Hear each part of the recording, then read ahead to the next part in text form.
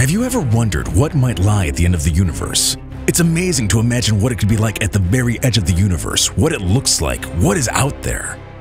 If it were possible to see this part of space, we would see the beginning of the universe as it began. But once something slips past the event horizon, it becomes lost to our sight, no longer giving off light signals.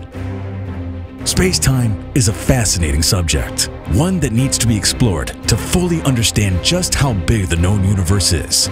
So let's take a journey to the outside of the known universe and answer, what happens at the edge of the universe?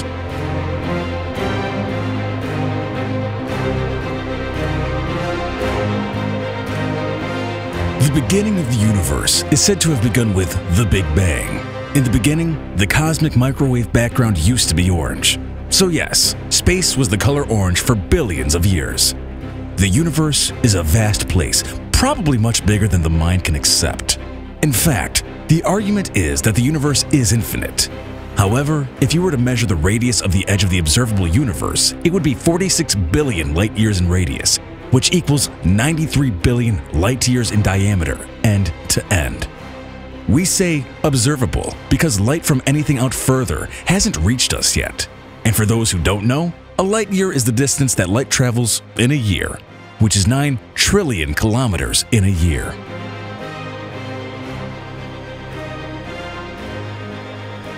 The distance is measured by using something called cosmological redshift. It is the fingerprint that expansion leaves on beams of light. To make it simple to understand, the longer a wavelength of light, the redder the light will be. Blue would be shorter, so if space wasn't expanding, then light from a distant galaxy would be the same color. So what is out there that we are able to see? At the end of the universe is what is called the particle horizon. It is the current instantaneous distance to the most distant part of the universe. In other words, it is the most distant part of the universe that could possibly have had a causal connection to our own galaxy. So anything inside this particle horizon is referred to as the known universe.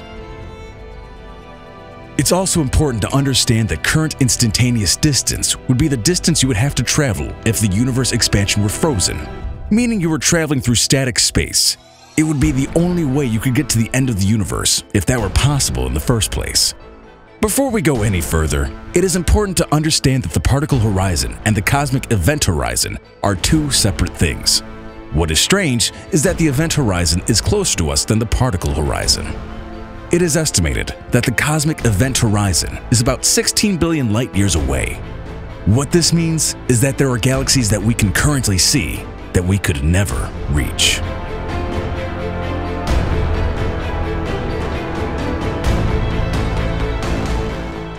But here is the problem. The shortest path in space-time is defined or measured by geodesic, Geodesic is the shortest possible line between two points on a sphere or other curved surface. So we can say the path of light between two points. Most people know that it takes time for light to travel. If you didn't know that, it takes about 8 minutes and 20 seconds for the sun's light to reach us, for example. So we have to factor in the time interval, especially when space is changing with the expansion of the universe. With that being said, to travel to the particle horizon, the known edge of our expanding universe, by the time we covered the known distance, space would have expanded over the remaining distance. So, how far would you have to travel? You would have to travel infinitely far, even if you had a spacecraft that could travel the speed of light. So let's talk about space travel for a moment. We know that black holes have event horizons, that goes the same for the universe. An event horizon is defined as the point where we can no longer receive information because light from that point has redshifted into oblivion. This event horizon is the boundary to our observable universe. There is a region of this universe from which we can never receive any new signals from.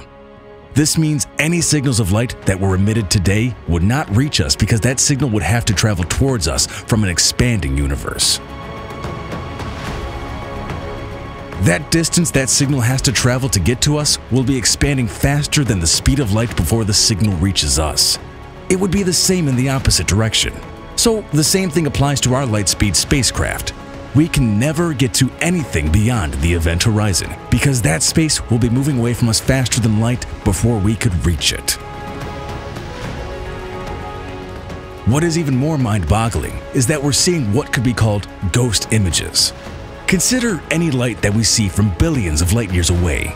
If it took billions of light years to get to us, then it's very possible that that object that gave off the light doesn't exist anymore or has moved outside of the particle horizon. As the universe keeps expanding, more and more of it will cross the event horizon. And in case you might be confused about the difference between the event horizon and the particle horizon, the event horizon is easiest to think of as the point of no return.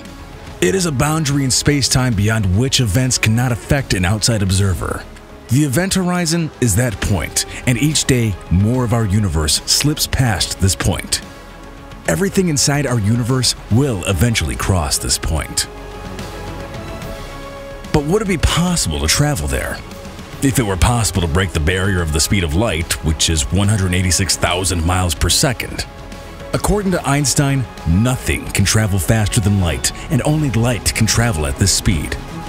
And it would take an infinite amount of energy to propel any material object at this speed.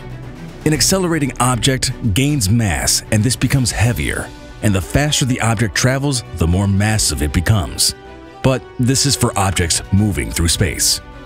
We could try to break this cosmic speed limit, and in fact are already trying to do just that. Superluminal motion, which was first observed in 1902 by Jacobus Kapteyn, who witnessed the ejecta from a nova, not to be confused with a supernova, GK Persei, which exploded the previous year. Superluminal motion is the apparent faster-than-light motion that is seen in some radio galaxies and quasars.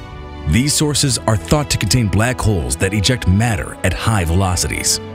Superluminal speed is actually behind the motivation of the warp drive. So let's assume we have a warp drive capable starship. First of all, we would have to burn the mass energy of entire stars to power the warp drive. If we were able to get to the particle horizon, we would likely see more universe. Don't forget that the particle horizons set the limit for our current view. But if we were to get out there and look back to our universe, it might appear as a newborn universe on another particle horizon. But what if we keep going? On the largest scales, the geometry of spacetime is very flat. On smaller scales, it has ripples due to stars and galaxies. Think of it as ripples on the ocean. Measurements of the distributions of galaxies and the cosmic microwave background confirm the flatness with a very high, but not infinite precision. With that being said, if spacetime really is flat, then the universe is infinite, meaning that the universe just goes on forever. There are many types of infinity, including some that involve infinitely repeating versions of this universe.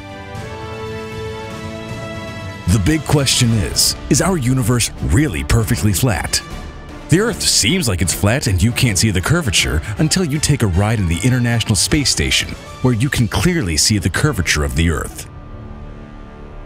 It could be possible that the curvature of the universe is so small that we are either not seeing far enough or measuring precisely enough to detect it.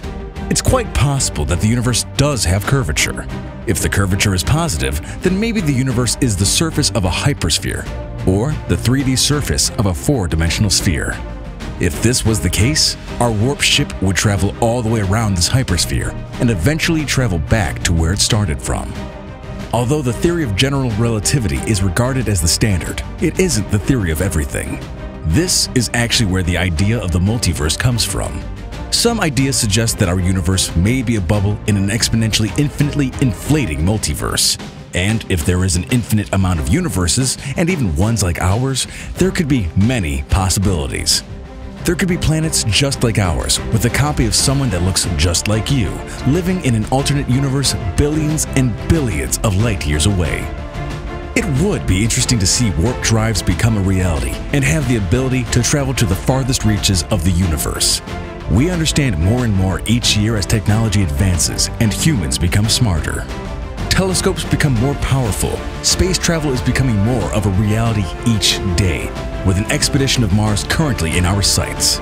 It is possible that one day nothing will be impossible for us. We hope you enjoyed this video. Did we forget anything?